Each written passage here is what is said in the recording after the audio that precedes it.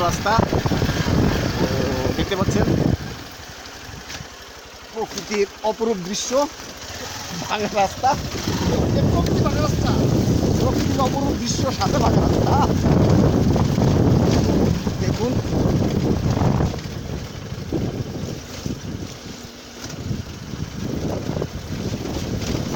গাড়ি ঘোড়া মোটেই নেই। একটা দুটো গাড়ি দেখা যাচ্ছে।